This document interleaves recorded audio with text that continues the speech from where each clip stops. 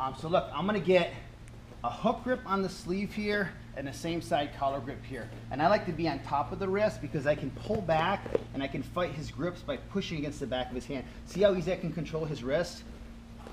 By doing this, by staying on the back of his hand, and I'm using my fist and my knuckles to control the wrist right here, okay? Now watch, from here, I'm gonna take, I'm gonna make one big bold move, I'm gonna jump right up on his feet. Now watch, I jump on his feet and I'm gonna pull.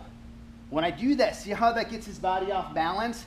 He's falling forward with his arm extended. I'm pulling this arm out, and he's gonna fall towards my guard. As he starts to fall into my guard, I'm gonna cut an angle on him, and I'm gonna hit right into the arm bar.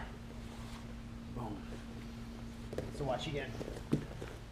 I get my grips, I'm here. I get myself kind of back a little bit so there's some distance and I'm gonna hop right on his feet. I'm not gonna jump and stomp on his feet. It's kind of like a nice light little move actually because look, boom, I sit right to my butt.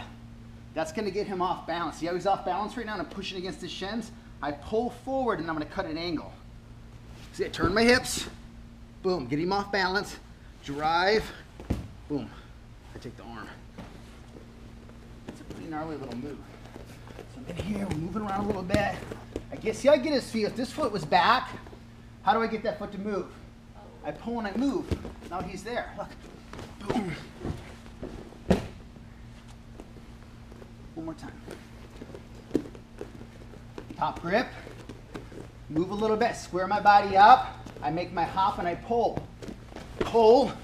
Cut my angle. See, I pull that arm into my chest. Boom. Right to there. All right. So when you do it, I want you guys to go one and two.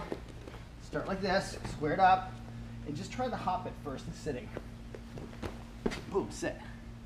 Don't let go. Don't feel like you got to reach. Just sit right in your butt and then pull. He's going to go to his knees. Now I'm going to turn my hips. Boom. And then I'm going to hit an arm bar. Ready? One, two, three.